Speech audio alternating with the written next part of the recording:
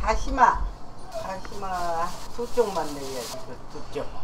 다시마 예. 여기다 다시마 그리고 멸치 좀 넣어야지. 멸치 이만큼.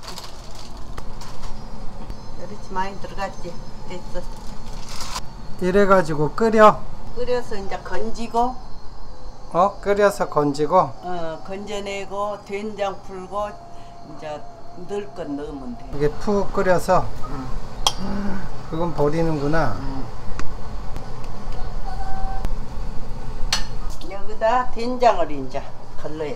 아 망에다 걸러서 그래서 찌꺼기는 음. 된장이니까 이따 도로 붙더라도 으깨야지.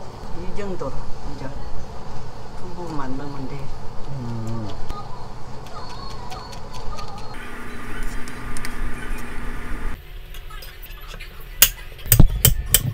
감자하고 호박만 들어가도 맛있지 음. 근데 뭐뭐 들어갈 건데 청양고추, 양파, 그리고 두부 마지막에 두부 넣고 감자는 감자는 이거 먼저 넣어줘야지 더 먼저 뭐, 물르게 감자.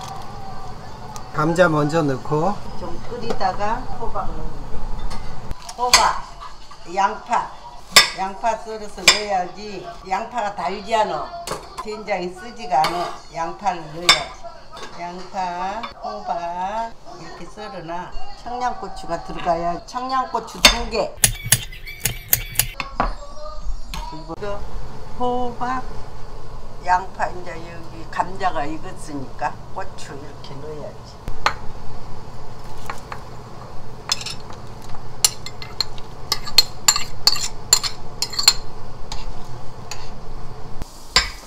두부하고 느타리 버섯도 넣어 응. 그럼 더 맛있지. 넣자마자 이거 호박. 느타리 버섯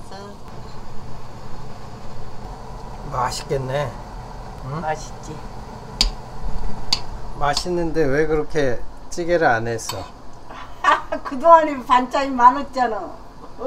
아이 된장찌개 간이 맞아? 응, 딱 맞아. 좀 끓으면 두부 넣 이제 넣고 그냥 끓으면 먹으면 돼.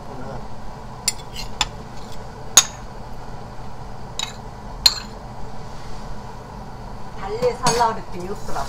거기다 달래를 넣으면 참 맛있거든. 된장찌개.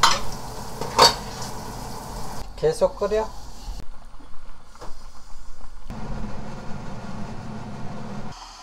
어때? 맛있지. 아 시원해?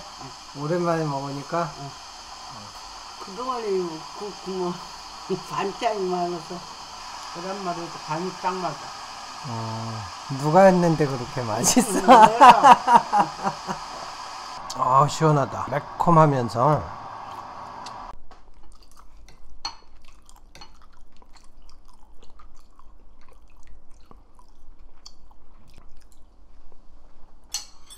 나도 그렇죠? 아니 거기서 그냥 먹어. 엄마가 맛있는 거 다 건져갔네